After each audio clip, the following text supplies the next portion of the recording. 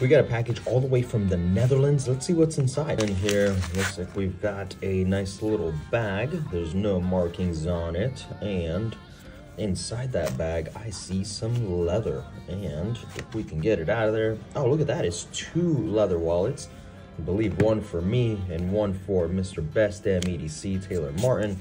We got a handwritten note. Thank you, Rikki, for taking the time to review my wallet. Hope you like it. Greetings, Jonas. This is by Jonas Leather.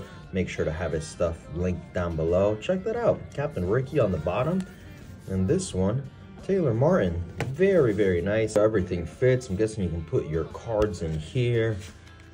Boom. It's a nice fit. And then maybe cash in here. This is quite nice. What do you guys think? Is this something you would carry?